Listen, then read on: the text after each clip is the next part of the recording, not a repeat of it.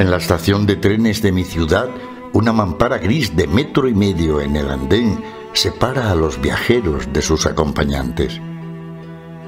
Me gusta imaginar que el encargado de esta compartimentación lo hizo con intenciones más humanas que el control de billetes, el aprovechamiento máximo de recursos o simplemente por ahorrar espacio. Aquí las despedidas no pueden susurrarse con la cara escondida en el abrazo. La arquitectura obliga a levantar la voz y la mirada para decir te voy a echar de menos.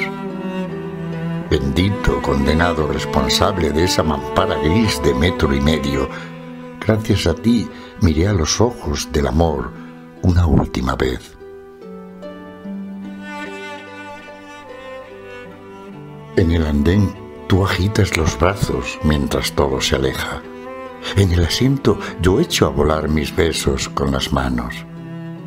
Las ventanas del tren están tintadas, pero tú te acaricias la mejilla. No es la costumbre, ese taimado hito de la muerte. Tampoco ir a las bodas sola o escapar de un dormitorio ajeno los domingos. Menos aún hacer la cena para dos y cenar uno. No es ni siquiera la espera solitaria en el dentista, el ancho de la cama o este miedo a no volver a amar.